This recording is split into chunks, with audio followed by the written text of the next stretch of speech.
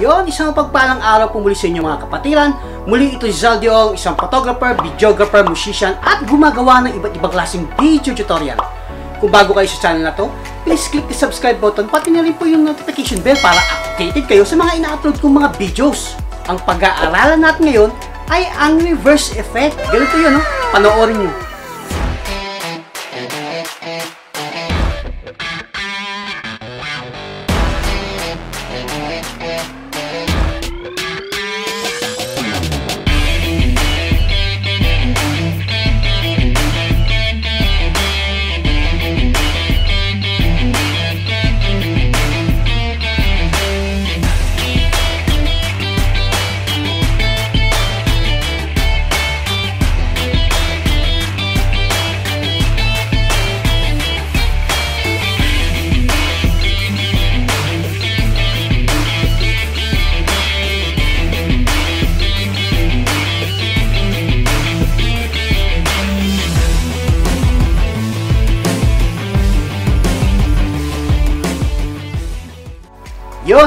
I-edit natin yan gamit ang ating Filmora 9. Kung wala pa kayong Filmora 9, ilalagay ko rito banda sa itaas. I-click nyo lang yan para malaman nyo kung paano i-download to. O paano guys? Simulan na natin!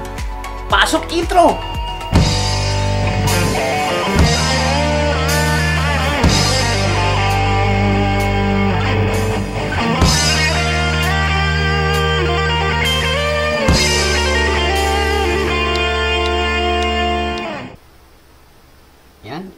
Natin yung ating Filmora 9. Create tayo ng new project. Nasa wide siya dapat, wide screen. Yan. Ito yung loob ng ating Filmora. Mag-import tayo dito. Right-click lang tayo dyan. Tapos, hanapin natin kung saan natin nilagay yung ating uh, record. Nilagay ko siya sa desktop ko. Yan, ito yun.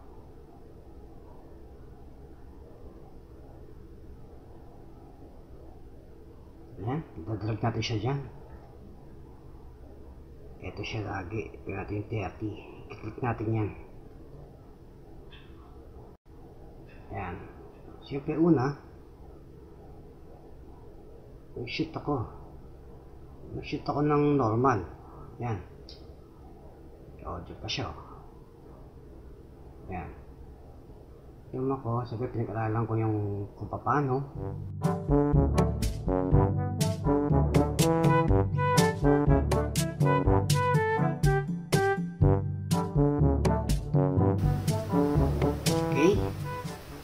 Natin gagawin, punta tayo sa umpisa. Cut natin yung yan, yung saktong pagbaba ng ano. Yan, mula dyan. Yan, kung saan nakatutok tong cursor na yan. Dito na ditong, yan. Yan. Cut na siya. Tapos yung dulo, sundan nyo lang ako ah. Yan, yung, pag, yung pagyuko, yan. Cut natin yan. Cut natin dyan. Tapos yung audio niya, tatanggal natin yung audio. Ha, tatanggal natin siya audio. Right click. Tapos, detach audio. Yan. Mula dyan, delete na natin yan. Hindi kailangan yan. Ayan, wala na siyang audio. Wala na yan. Puro video na siya. Ngayon, para i-reverse yan, ganito gagawin natin. Right click. Tapos may hanapin yung speed and duration. Yan. Click nyo yan. Yan, nakita yung reverse na yan. Click mo yan.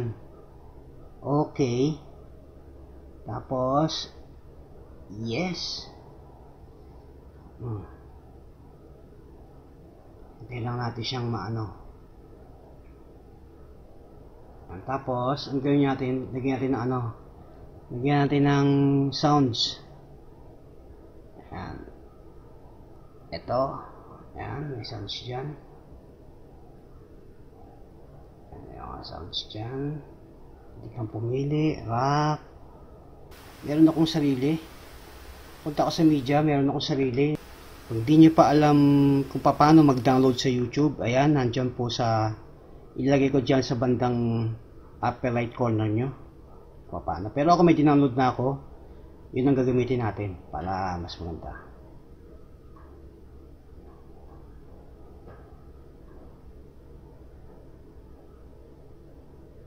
Tao dito sa, yan, sa, sa, sa nilagay. May mga file kasi ako dito eh. Gusto ko yung rock. Ayan. Yan ang gusto ko rock. Yan. Tapos, ito, kakat ko na uli siya. Katad dati. Iyan natin. Cut lang natin siya. Yan. Ganyan, ganyan. Hindi ba kasi kailangan malaki siya para makita mo kung sakto eh. Highlight to. Tapos gunting. I-highlight mo itong i-delete mo. Delete. Tapos, click mo to. Fade out. Dala sa dulo tayo. Ayan. Lang. Siya, hindi natin makita na ano yan. Konti lang. Yan. Tapos, tingnan natin. Hindi tayo bantayan kasi medyo malaki pa siya eh. Tingnan natin. Yan.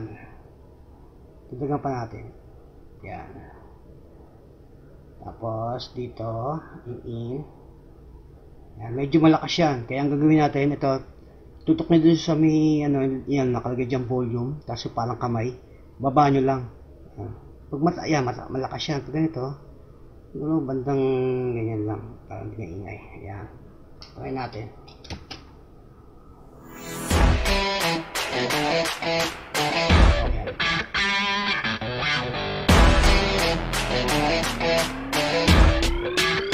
Yan, ganun lang kadali guys. Gawin ko, export ko lang siya. Tapos, gagawin ko, um, ilalagay ko siya sa desktop. Desktop. 180p. The settings niya, ganun pa rin. Yan. 30. Yan. Okay natin yan. Gagawin ko siyang pangmugat reverse effect. Yan guys. Then, export.